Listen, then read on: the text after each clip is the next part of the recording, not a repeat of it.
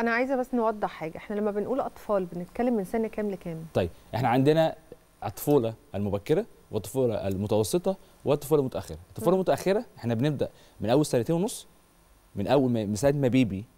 ده اسمها الطفولة المبكرة. مم. لحد ما يخش بريكي اللي هو بنتكلم على ثلاث سنين ونص أربعة. تمام. بعد كده من خمسة لحد ثمانيه. من 8 لحد 11 أو لحد 10 على حسب دخول المراهقة عشان المراهقة ممكن تبدأ عند البنات عند 10 سنين. مم. فدي الطفوله المتاخره مم. طيب هنوصل بقى في مشكلة تانية. يعني خلاص إحنا قلنا خلاص هو ما عادش فترات طويلة وإحنا قعدنا نوجه أنا بتكلم عنك دلوقتي كبرين مش كبيهيفير. خالص. آه خلاص بقاش عنده نقص وما تركيز بنتكلمش عن الطفولة المبكرة خالص. إحنا هنا بنتكلم على متوسطة أو متأخرة. بالظبط. يعني إحنا خلاص إحنا قدرنا إن إحنا نقنن توقيته وهو قاعد قدام إحنا بنتكلم أول ثلاث سنين في خطورة جدا على المسارات العصبيه في المخ عشان بيأثر على المحور العصبي فبيزود المادة البيضاء اللي حوالين المحور العصبي فده يكون عرضة لأي اضطرابات من عرضة لاضطرابات القلق. فأنا كده يعني إحنا أصلا بقى الثلاث أصل أنا معلش الموضوع ده مهم قوي بالنسبة لي. ال ال ال الشاشة ما يعني الأطفال اللي قبل ثلاث سنين ما يتفرجوش أصلا ما يشوفوش يعني إيه شاشة ولا طيب. لأ؟ كل الأطباء اللي في العالم مم.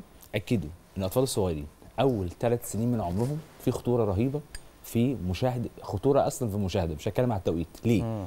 المسارات العصبية التي تكون الفصوص المخ تبدا تكون في ثلاث سنين أو. ثلاث سنين مم. الفصوص في المخ جواها محاور اللي هي إيه تركيز وانتباه وقوة ملاحظة ومهارات حفظ ومهارات لغوية تمام. ومهارات حسابية مم. وتركيز وانتباه كل ده بيحصل error.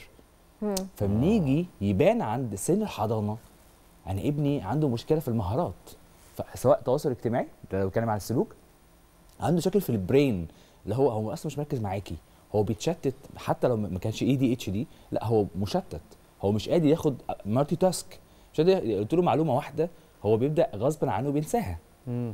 لو عدينا المرحلة دي خلاص خلاص إحنا اتفرج. بس. إحنا يفضل لو لو اتفرج لا يزيد عن ساعة. ومفيش بحث في العالم. أكد إن مشاهدة الحاجات التعليمية.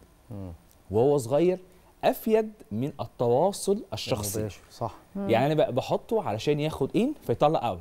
ياخد لغة. لا هو مش هيتكلم أصلا. هو محتاج تواصل من عين ويبدأ يسمع وحركات إيدي. كل دي مؤثرات طبعا. محتاج ياخد حصيلة. لغويه. مني أنا شخصيا عشان يبدأ يطلع حصيلة لغويه هو بيتأخر في الكلام ليه؟ مم. عشان ما عندوش كم الحصيلة اللغويه اللي يبدأ يطلعها. فبالتالي الذكاء الاصطناعي يضره أكتر ما يفيده أكيد. مم. عشان إحنا المفروض بنعلمه لحاجات تنمية المهارات اللي هو المفروض ياخدها في سنه يعني حتى ال brain game أنا مش بفضل ال- ال application بتاع الموبايلات بتاعت ال brain game. اللي هو التدريبات الذهنية طب ممكن أجيب له حاجات brain game قدامه منها زود تركيز مناطق أي حاجة فيها ميلاتونين شاشة زرقاء. هي بتأثر حتى علينا إحنا كبار بتأثر على خلايا المخ بتأثر حتى يعني لما نيجي نتكلم عن المراهقين كارثيه وبتأثر على البيهيفير بتاعه. يعني المصطلح الجديد اللي نزل من خمس سنين الاضطراب المصطنع الطفولة م- المتوسطة اللي بيبدأ يظهر فيها ابني عند مثلا ست سنين بدأ يظهر فيه إن هو عنده تخوف من التعامل مع أصدقائه مم. مثلا دخل المدرسة هو مش قادر يتقبل أصلا المدرسة فعنده صدمة المدرسة. تباعا هو بدأ يبقى عنده عزلة اجتماعية في المدرسة مم. طيب إيه اللي بيحصل له اضطراب مصطنع اضطراب مصطنع بسهولة جدا يتم اكتز... الاكتزاب بتاعه إن هو يبدأ يمسك الموبايل أي حد يعمل شات معاه لحاجات غير قانونية يبدأ يدخله في حاجات بيخش في عالم افتراضي. ويبقى عشان يعيش حياه الكبار عشان هو عنده صدمة فعنده اضطراب مصطنع أو يبدأ يحط حاجات مش عنده يعمل account مثلا مش حقيقي. عشان خاطر الناس كلها تتقبله عشان يبدأ يشعر بالاهتمام عشان هو حاسس بالاهمال.